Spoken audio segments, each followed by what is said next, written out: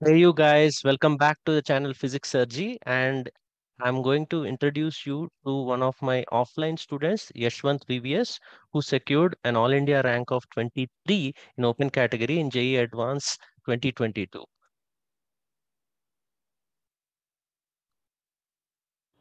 Hello everyone, I am Yashwanth VVS.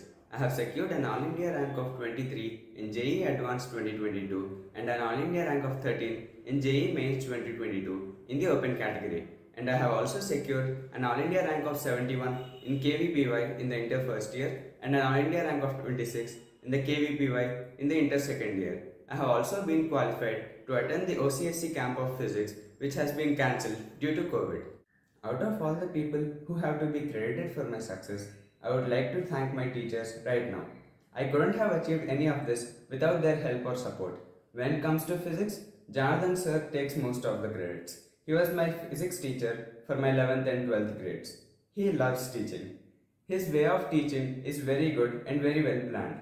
His perfectly organized assignments make you love physics even more and you might even get addicted to physics. The most attractive thing about his teaching is that he explains complex concepts using very simple examples and it makes you feel that the concept is not even difficult to understand. Apart from being a great teacher, he is a great mentor too. Whenever I used to feel a bit demotivated, I used to go to him. He always reminded me of my capacities and cheered me up. So today, I would like to thank Janardhan sir for doing this for me in these two years. Thank you, sir.